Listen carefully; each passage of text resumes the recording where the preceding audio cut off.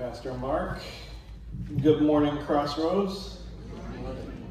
It is always, always, always a blessing to come here. Um, I am. We're so thankful for the faithfulness of you as a body um, walking with us for this incredible roller coaster journey that, that God is leading us on. And I, am laughing at that string because that's probably moved more than many of the strings you have back there, hasn't it? just everywhere we've got everything we've done. Um, and man, it's been an adventure. It's been incredible. Um, it's incredible what happens when you truly pick up that cross and follow Christ. And where He leads with that, we we uh, gave up a long time ago planning our future, planning our steps, because often God is showing just one or two steps down the road and, and takes it nowhere near what we were thinking about, nowhere near what we were planning on. And it's incredible looking back. We have a, a, a plaque up on our wall that says simply, God is in the details. And when we look back in our lives and see how God was working and arranging things, preparing us for those next steps. In fact, an example of that, um, it's crazy. It's been so long. COVID really messed up our, our home ministry assignment schedule for being able to come and update churches very well. And so it's been quite a few years since we've been here. So I don't think we've actually shared with you even about what our ministry was in Europe and in Germany. Um, last time we were here, we were here, I believe we shared about how we were serving in regional leadership in West Africa. Um, working with national leaders, working with our missionary staff, equipping and empowering them and seeing incredible things happen, having a blast doing that, and really seeing national leadership step up and, and, and do wonderful, amazing things. And it came to the point where World Partners approached us and said, Hey, Jeremy and Mindy, what's going on in West Africa is incredible. Um, great things happening. What you're doing there in West Africa, would you be willing to do that in Europe? And we looked at them and said, You guys are crazy.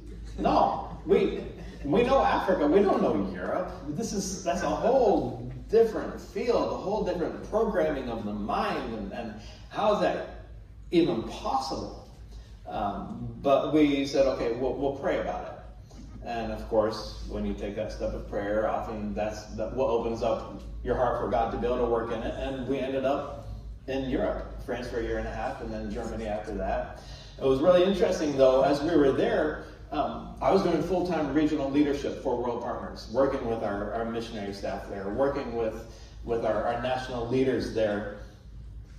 I had spent multiple years previous to that um, learning language. Um, we, well, way back when, when we were raising support to go to Venezuela, we were learning Spanish, and then ended up that we were going to go to Guinea, so had to go and, and, and do intensive French language study for a year ended up in Guinea, where we then learned the Yolunka language, and that became our ministry language, our ministry focus, um, to be able to minister well in, in heart language um, among the Yolunka people group. And then when we moved to Senegal, French kind of became our ministry language, where we were getting really proficient in that language as we went all throughout West Africa, French and English. And then when we went up to Europe, we intentionally moved to France so we could have a bridge language so we could communicate with our neighbors, so we could talk, and so we'd be able to start off being able to share the gospel with our neighbors while we were doing our regional work for all of Europe. But God had other plans and led us into Germany.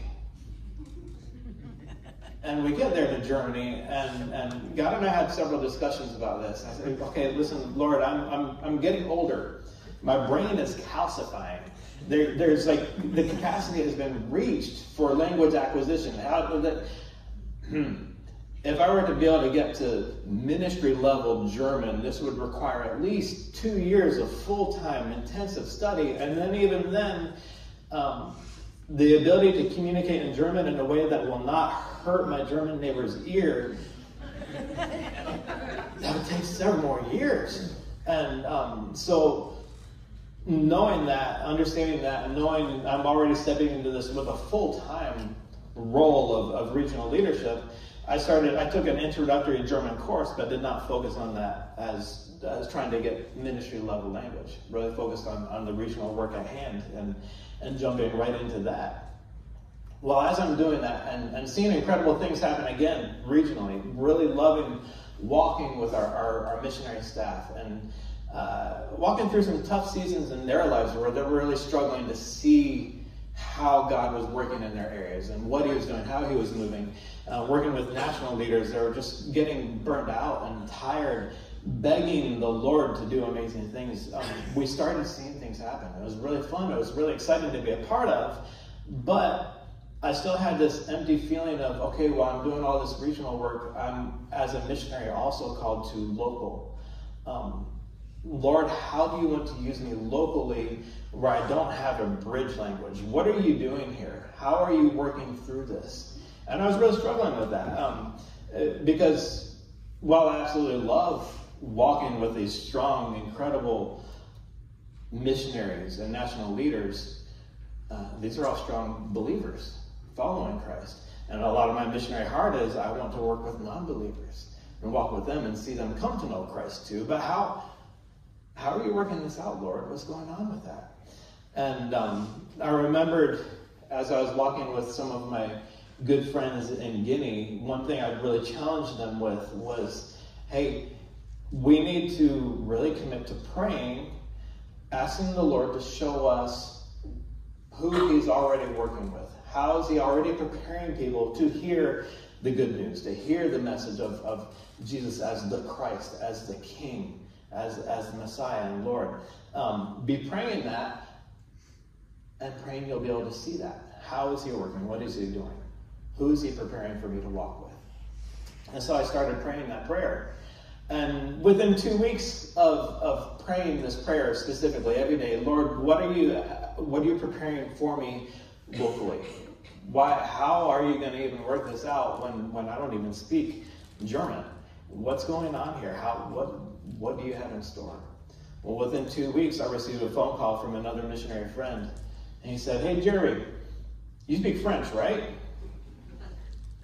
Actually, I do, yeah.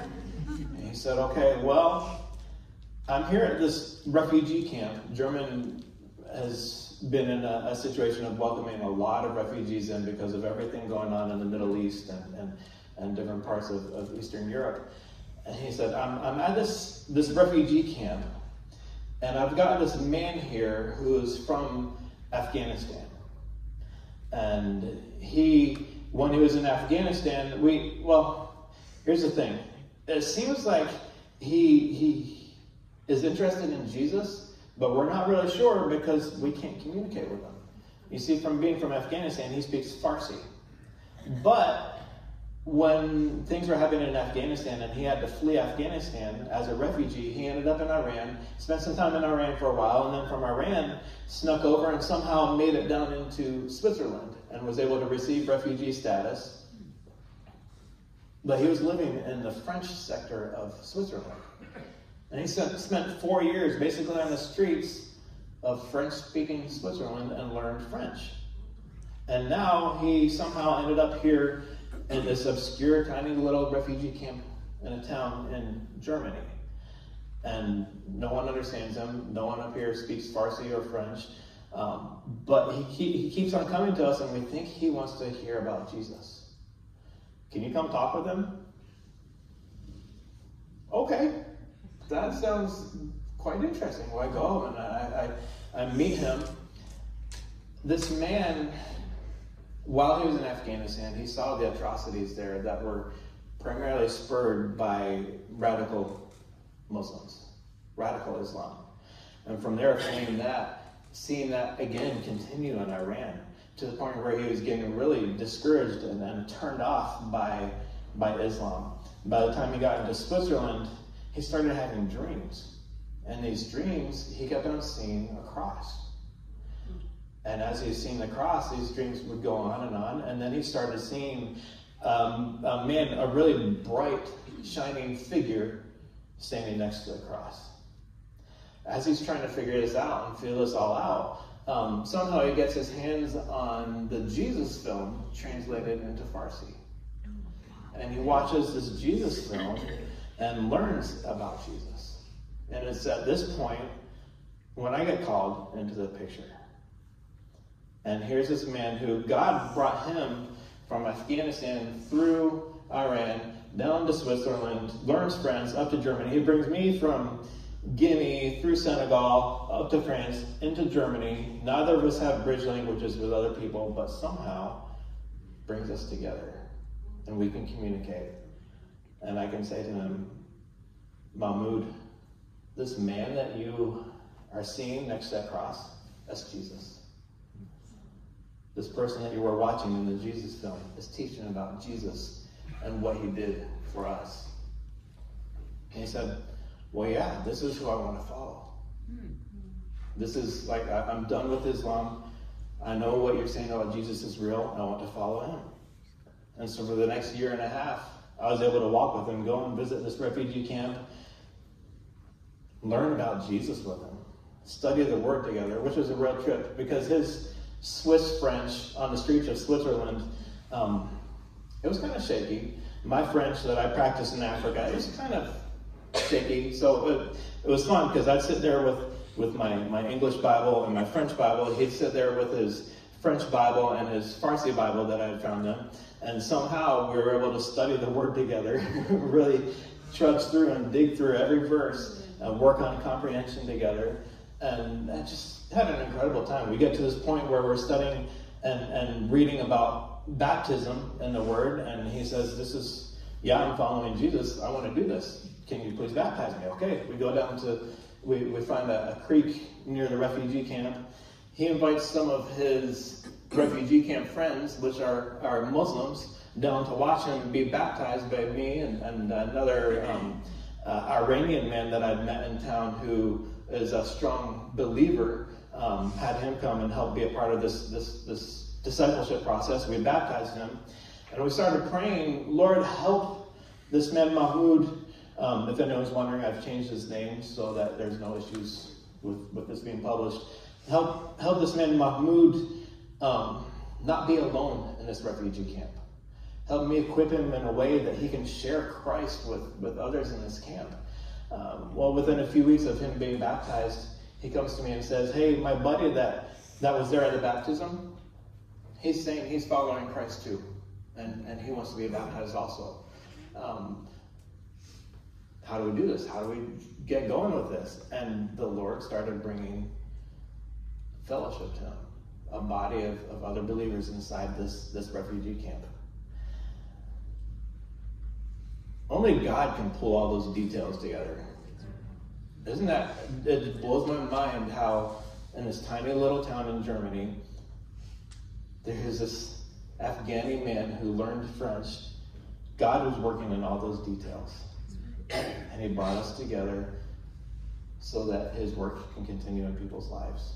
And we praise God for that. And that, that I feel is, is really truly the testament and story of, of many of my lives. Going through this whole roller coaster process of wherever God is leading us, seeing how He's pulling pieces together, preparing us for these different times. And we see that even too with, man, really truly, it's not it's not really the the habit of world partners to see missionaries move around so much. Normally, you go and you stay in one place for a really long term investment, which is what we tried to do in each location. But somehow, God kept moving pieces. We know the world. We've got experience in so many different areas now being placed at Bethel University, where we're being tasked with equipping and empowering students with feeling out this possible call to overseas service. We can sit with them and say, Here's the world. We know it. We know what it's like in this area. We know what it's like in this area. We know how to equip and empower you so that by the time you graduate, you can be field ready. You can go. You can be sent. And um, we're really excited to be a part of that. We're, we're thrilled to be in that situation. Um, if you would turn with me to Matthew chapter 16.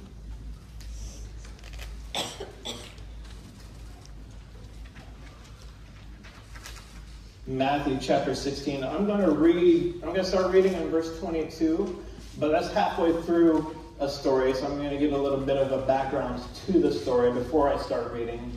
This, this is a section where, where Jesus and his disciples are out walking, and um, Jesus poses this question to them. He says, Hey, um, who do people say the Son of Man is? And, and they respond, Well, some say John the Baptist, some say Elijah or, or Jeremiah, one of the other prophets.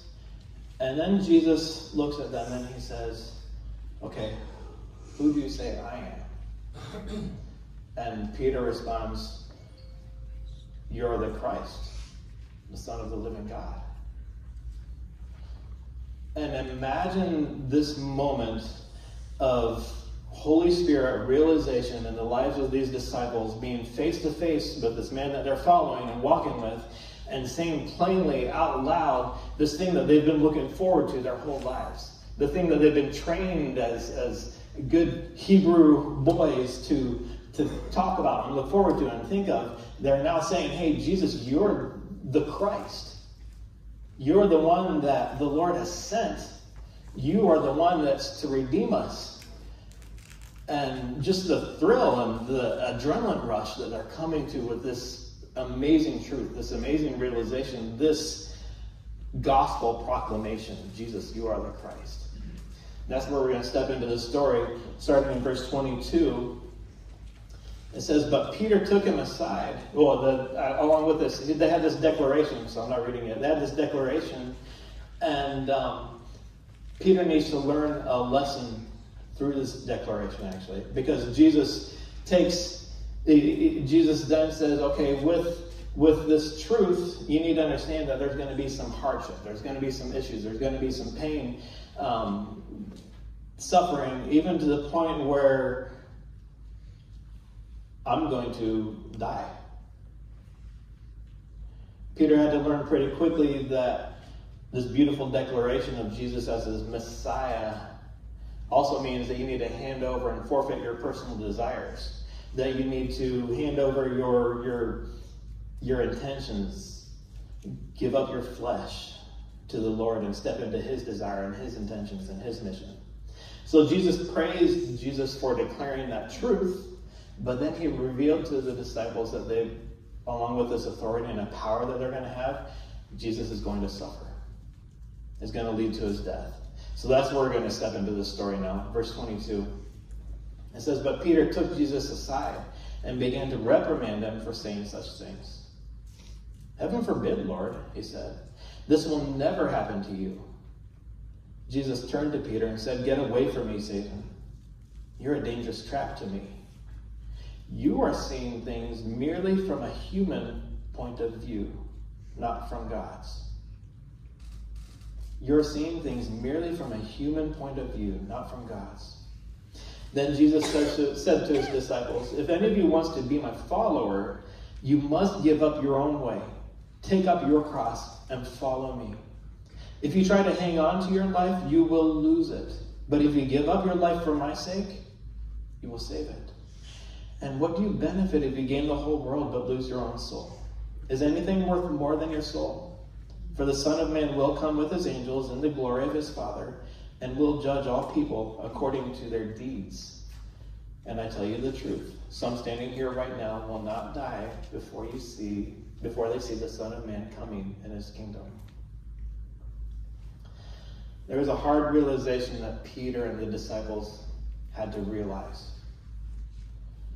Declaring Jesus as Lord, that's not, that's not the finality of this walk with Christ. That's not the end of what it means to be a Christian. That verbal statement of declaring Jesus as Lord is actually backed up by that physical and metaphorical act of sacrificing all that you are all of your past, your present, your future, your baggage, your wounds, the lies that you've believed, loading your whole self up onto that cross, giving it up to Jesus so you can fully follow him on his agenda and on his mission. So for the Tices, that's been that's been our heartbeat. That's been our journey. That's been our walk, is to be crucified with Christ and to be alive with Christ. To follow our saving, reigning King, however and wherever he leads us, and to help others to do the same. That, I think, is why we're now placed at Bethel University. That's our baseline for serving world partners at Bethel University. Is to help students fully embrace taking up their crosses and, and following them wherever he's taking them. Whether it means running a, a business in South Bend, Indiana, or being a nurse in the, the, the cardiology floor at South Bend, how do you carry your cross in those settings? How do you live out your life as a fully devoted follower of Christ?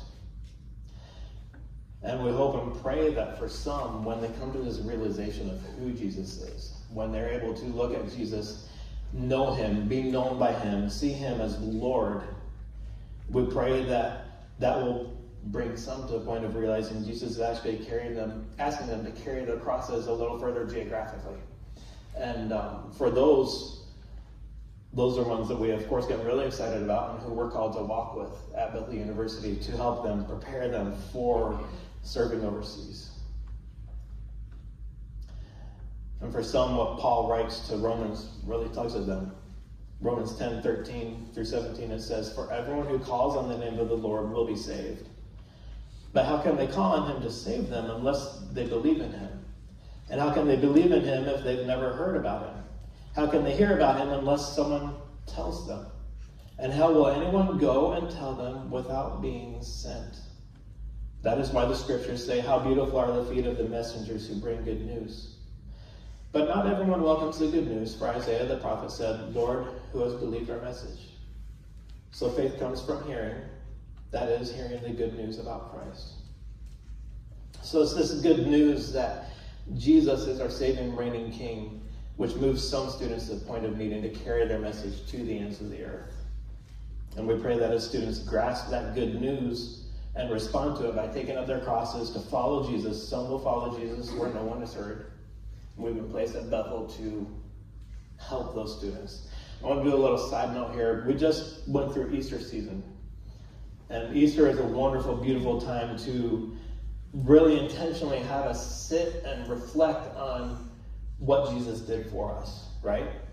We go through that whole season of Passion Week knowing Jesus is walking towards that cross, knowing that he was put up on that cross, he was crucified, he was buried for our sins, he rose again, showing um, that he's defeated death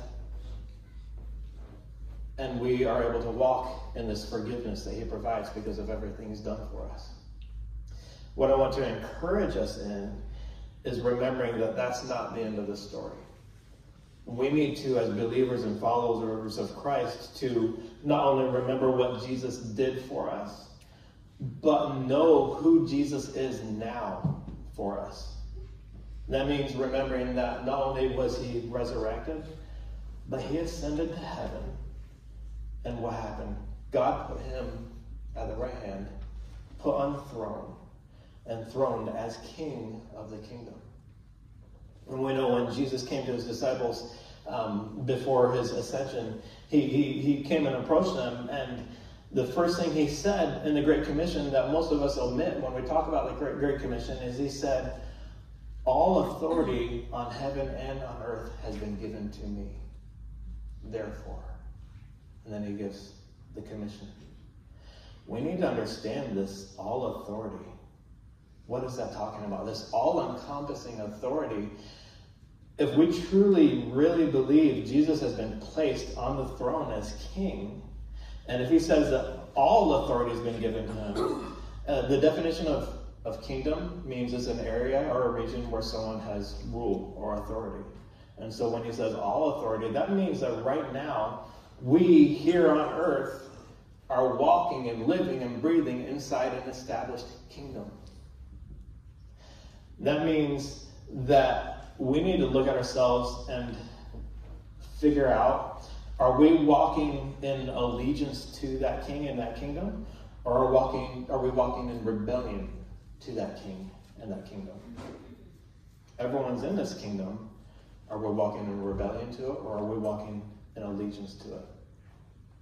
That is a big part of what the gospel is. Jesus is the Christ.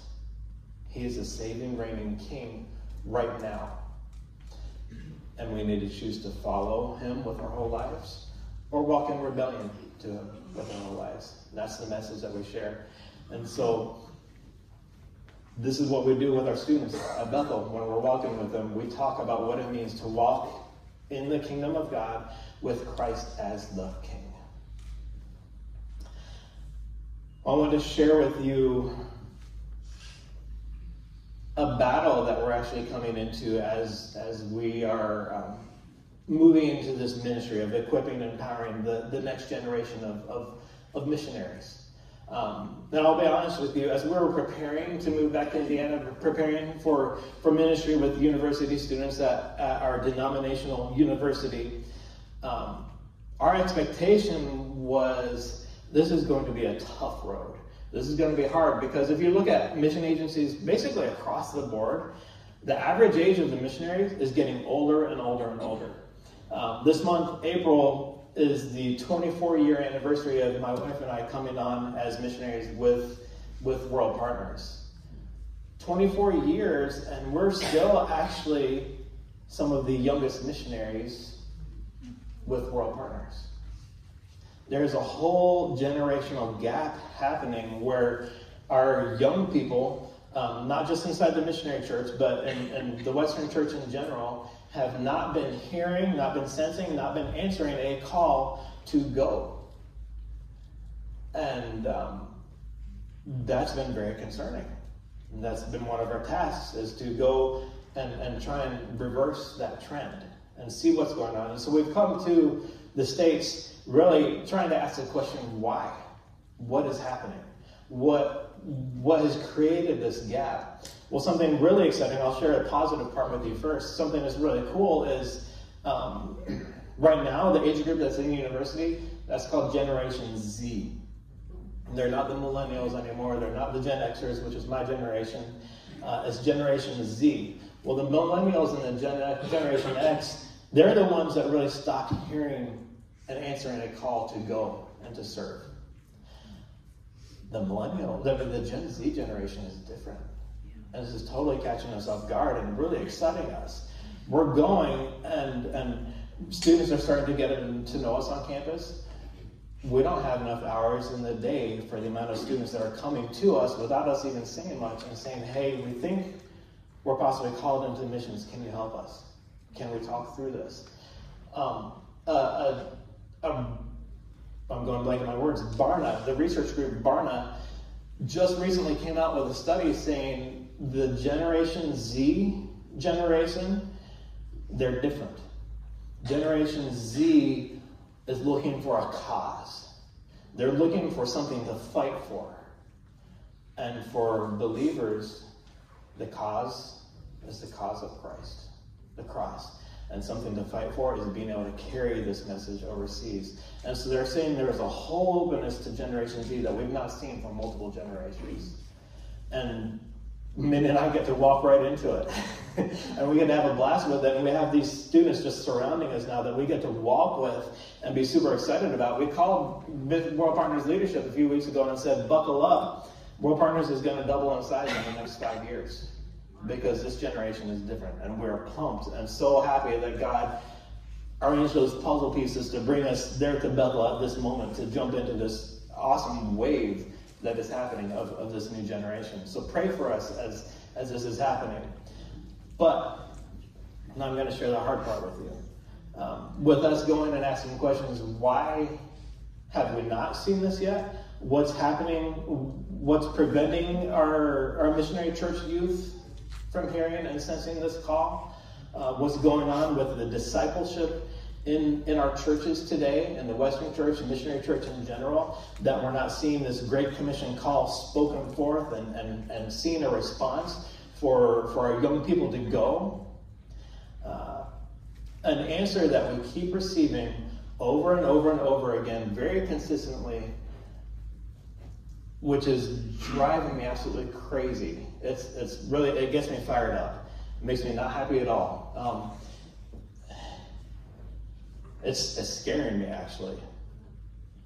Our youth today, in university and in high school, they're actually being discouraged to worldwide mission. They're being talked out of worldwide mission. And it's actually not necessarily because of the church. It's not necessarily because of their youth groups, but they're being discouraged to worldwide mission because of their parents. parents are telling their children, mm, missions probably isn't for you. Mm, missions is really dangerous. I, I, I don't want to see you getting malaria or typhoid or dengue fever and, and, and being really sick, possibly dying on the field. Missions is really dangerous. The areas of the world right now where, where we're sending missionaries into the 1040 window and, and to work among Muslims, the persecution that's happening there, the kidnappings that are happening in, in Nigeria and other places, we can't send you into that. Missions probably isn't for you. You know what? I, I love you too much to see go. The, the, the time period of how long you'd be overseas before coming back for a visit, that's too long to be away from me.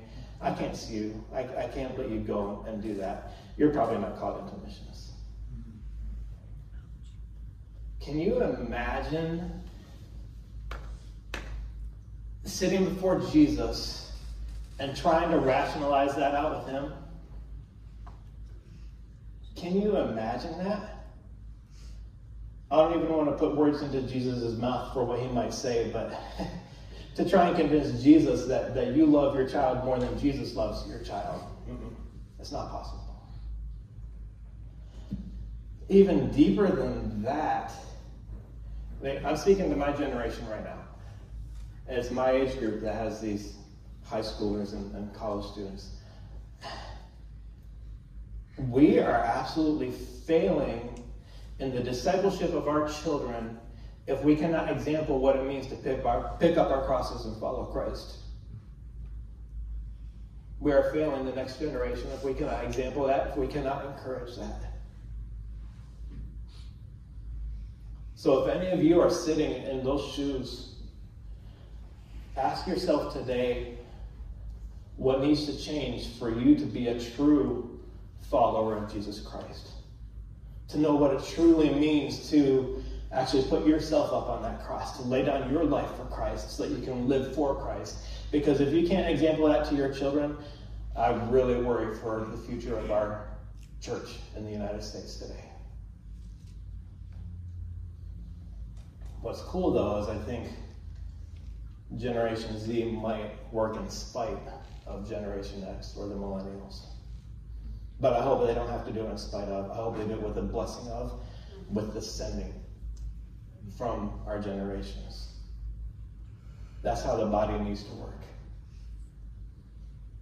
I've, I've counseled several youth and several young people who have had parents discourage them from mission. And I always send them back with this going back to your parents, please ask your mom and dad, show me how to live my life fully for Christ. What does it mean to be a fully devoted follower of Christ? Show that to me. Show me how to do it. And I honestly think it will be impossible for mom and dad to talk out of that lifestyle, of that life. And I pray for this generation that, I pray for my generation that we will truly know and see and understand what it means to follow Christ like that. And I pray that we can equip and empower our young people to do that. I pray that we can bring back on Sunday mornings. I think Crossroads is an exception to this. I think Crossroads is doing this. But we're not hearing the message on Sunday mornings anymore of, of we need to go, we need to be sent. And it probably comes back to that line that Jesus said to Peter You're seeing things merely from a human point of view, not from God's. Sure, we proclaim you as the Christ we proclaim you as Lord. But are we actually living that? Are we willing to take that full load and, and, and knowledge that that means if we're to follow Christ, we example what Christ did for us by putting ourselves up on those crosses and following Him.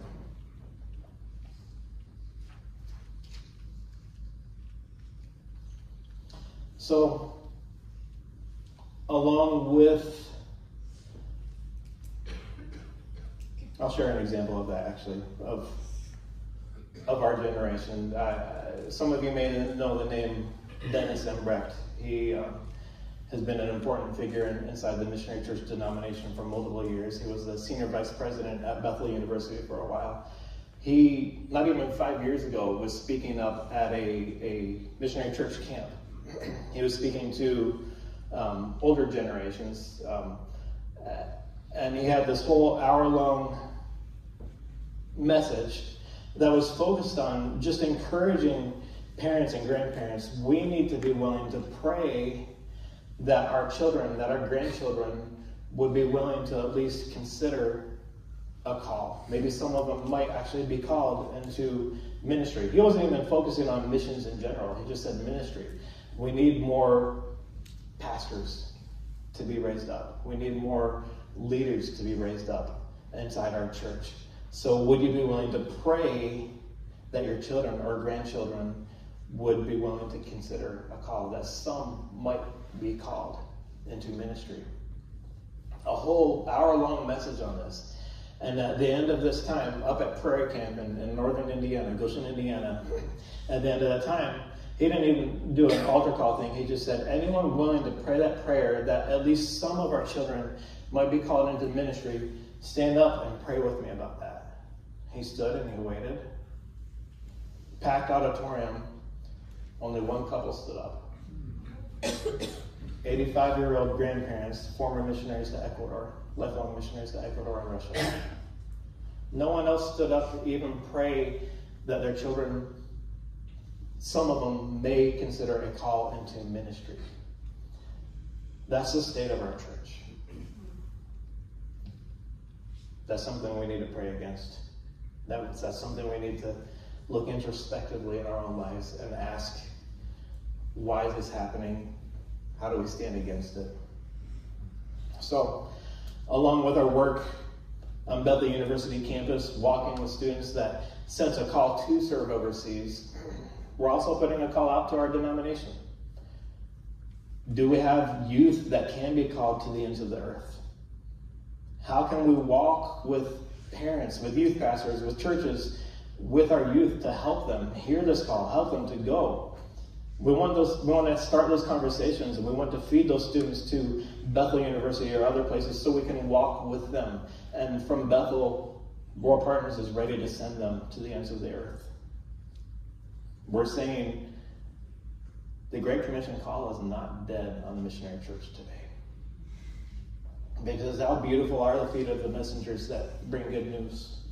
And how will anyone go and tell them without being sent?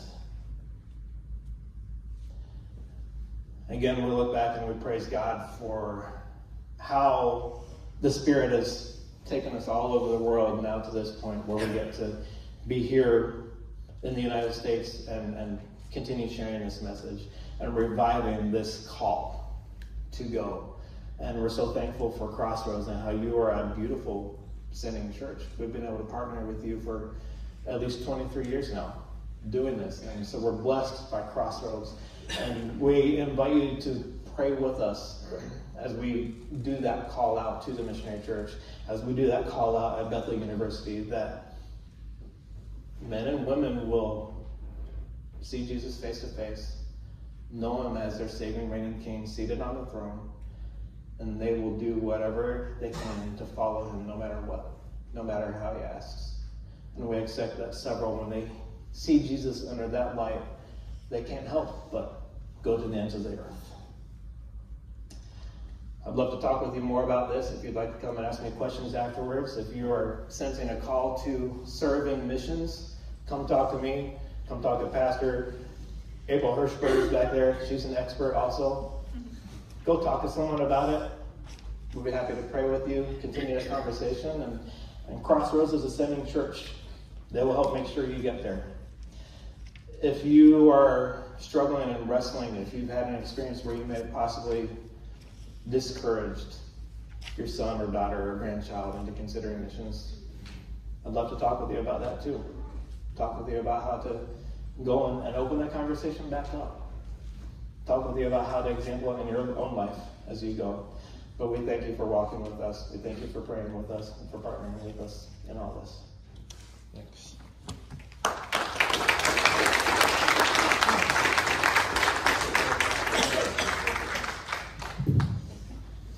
Um, don't leave. I'll pray for you. A couple things.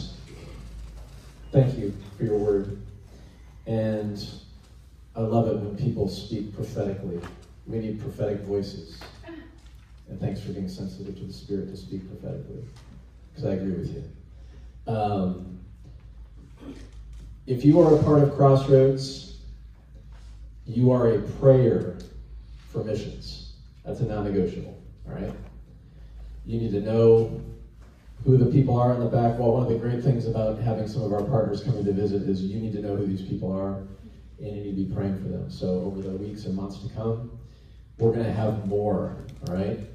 And so we are prayers for the harvest field. Luke 10 2, that God will raise up more workers. Um, many of you are givers and financial givers. And so I just made reference a couple weeks ago that our Dominican Republic trip, in astounding, miraculous ways, had money raised quicker than we've ever raised money for a short term trip before.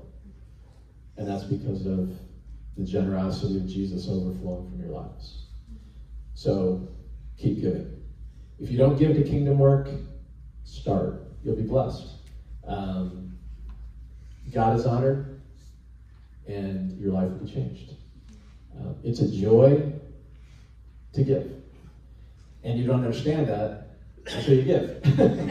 and if you know a giver, you know they got joy because they're generous. Um, the other thing is, and I'm speaking this pastorally, um, but I think it's neat how God has provided us with solid, consistent people serving around the globe. It's not about smoke and lights. This church has never been about smoke and lights. And Lord willing, it never will be. It's about exalting Jesus, and it's about the kingdom of God, and it's about consistent, simple, humble faithfulness. Pure and simple, because that's the way of Jesus. And so I can let this guy, and April shared a while ago, I have no trepidation. Take the mic. Um, I don't. Jeremy could preach here every Sunday. I'd be fine with that. Because I know it's hard. And you don't serve for 24 years in different places around the globe, being sent, and do that willingly with a servant heart unless you have one. And so thanks for modeling that. I appreciate that. Um, and so we're blessed as a church family to have really good, solid, faithful, humble missionaries that are a part of our body and extension. Um, and we don't take that for granted. That's, that's a God thing. And so we're thankful for that. And for us to be partners with you for 20 plus years, I mean, in my limited realm of ministry, it's almost unheard of anymore, you know? Everything in ministry seems to be the quick, flashy thing, let's do it and get over with. No, that's not how it works. It's small things, consistent things, faithful things over time. That's what it's about. And so I love hearing about your journey and where God has brought you and where you are now. I think it's just, it's amazing. And so thank you for being transparent with us this morning. And so, as the pastor here, I'm blessed with um, your buy in that the ministry, it's not about this church, right? Christ is building his church. One local expression is crossroads. But it's about the kingdom. It's about that man from Afghanistan who was connected with Jeremy. And because we support Jeremy, we're a part of that relationship, even though we'll never know the guy from Afghanistan. That's what it's about. But we constantly have to be reminded of that because the world mentality can so easily seep into the church where we start to think it's about us. It's about Christ, His kingdom, and the Great Commission. And so thank you for being faithful to what He's called you to do. Would you stand? We're going to pray read the doxology. Actually, have to read that. Father, I thank you for our brother, for bringing him here. Thank you for his family. Thank you for his prophetic word spoken over us. We need to be challenged in our walk with you, and I thank you for the challenge that he's laid out. That we all can live that pick up our cross life for others to see. Whether we're parents or grandparents, whether we're single, have no kids, not married yet, doesn't matter. We've all got the same call to deny ourselves, to take up our cross daily, and to follow you, Jesus, in your footsteps. So I pray for the Tice family. I pray a, blessing and anointing over their uh, new ministry that you've called them to. Lord, I pray that you would give them the gifts, the wisdom, the discernment as they continue to pour into these university students, as they interact with these students' families. Uh, we thank you for the, the joy that you brought these students, the, the passion to pursue the call. And we pray, Lord, that the roadblocks that maybe some of them have experienced so far would be broken down in the name of Jesus, that they would be encouraged and energized along the way by family members as well as the church coming alongside of them and throwing gasoline on the fire of your spirit in their lives. And uh, Lord, we just thank you for this morning, the way that your Holy Spirit is working in each one of us. Continue that throughout this next week. May we be faithful in the ministry that you've called us to in our own realm of influence. We ask you in Jesus' name. Amen.